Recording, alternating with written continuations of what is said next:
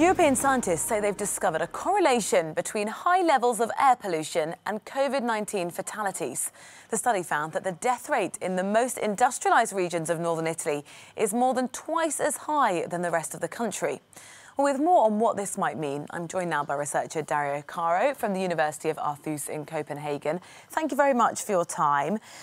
Do you have any idea? What are the theories behind this potential link that says if you live in a place that's got much higher air pollution, there's a higher fatality rate from COVID 19? Uh, hi, yes. Uh, actually, we found that living in a, a higher level of uh, air pollution uh, may lead to a number of complications for patients with uh, COVID 19 uh, in the regions simply because their bodies are, have already uh, been weakened uh, by the accumulated exposure to air pollution when they contact uh, the disease.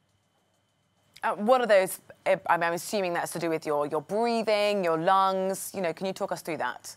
Uh, yeah, actually, the, the mechanism is about the cytokine. So we uh, we record uh, an inflammation of the cytokine, uh, which is the cause of the. We can say it's the first step uh, uh, to to die from coronavirus. And we found that people living in polluted area. they have a high level of cytokine also in healthy people.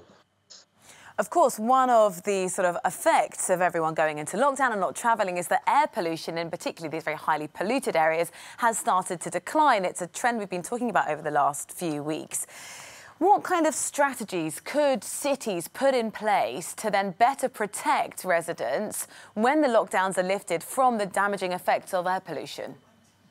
Uh, oh, okay. Uh, we need to distinguish between uh, uh greenhouse gases and uh, atmospheric pollution. So in this case, we are talking about uh, atmospheric pollution and traditional pollutants.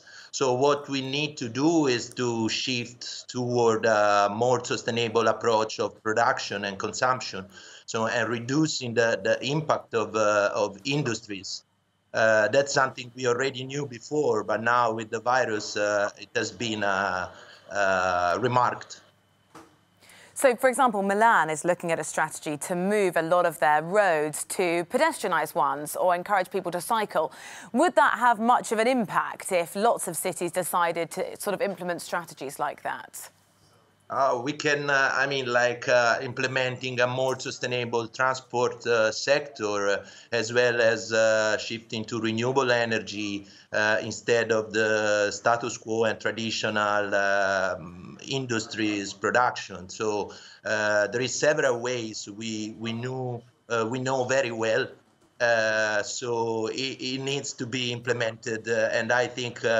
Uh, this is the moment because uh, with uh, with the um, industry sector set to zero right now uh, in the with the lockdown, so we have a, a, a, huge opportunity to restart in a more sustainable way, and it would be a pity if we don't uh, do that right now.